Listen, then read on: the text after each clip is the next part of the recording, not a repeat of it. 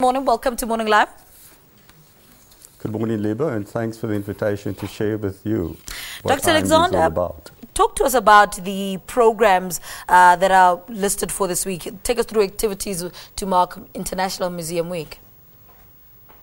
Thanks, Lebo. Yeah, firstly, just to say that the theme that's going to underpin our program today is called uh, collections making connections. And I think that's quite important as we celebrate International Museum Day, not only locally but internationally.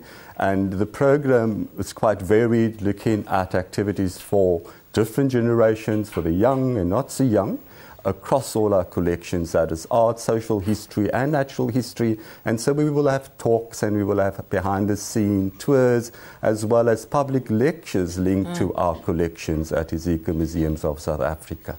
Now, how will it be different from previous years' International Museum, a day that is?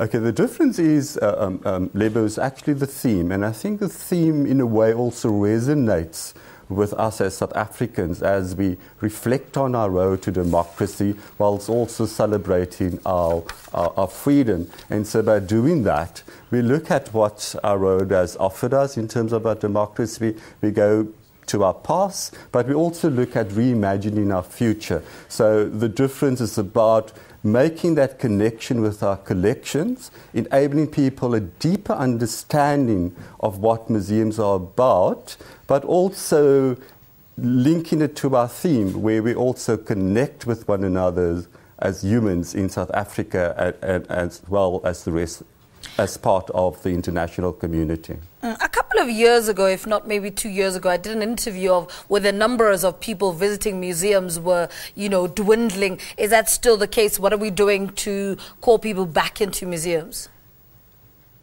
Well, I think what we are doing is to, to make sure that people understand that museums are actually a place of learning, a place of connecting, but also a place where they can just come and explore. So what we have done is we've, we've, we've changed the image of our museums so that it's a sense where there's a sense of curiosity, yes. a sense of wonderment, but also attracting young people to the museums. And so we, we, we've changed that image that it's just something about the old per se, that it's only about uh, dark stuff, but it's also about everyday topical things. Mm. And so we, we have encouraged young people and are encouraging young, encouraging young people to visit our sites.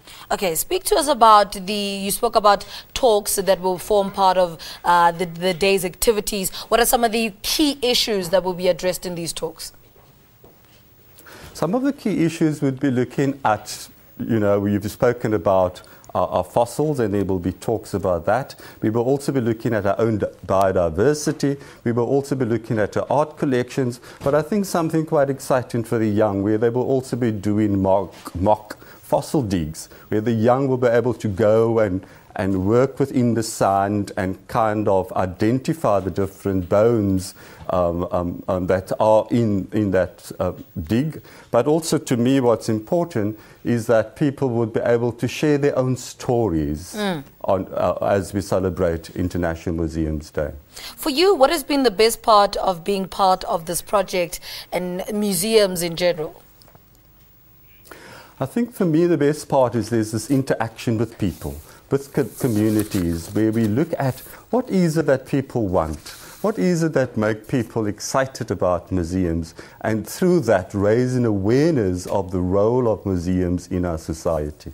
All right. Dr. Wayne Alexander, thank you so much for talking to us. He is the Director of Education, uh, Public and Programs at Iziko. For every object and exhibition at the museum, there are thousands more carefully stored away. This is International Museum Day. Theme is Museum Collection, Make Connection. Demonstrates how museums are living institutions that help create bonds between visitors, generations, cultures uh, around the world. Well, let's take a break. Stay with us.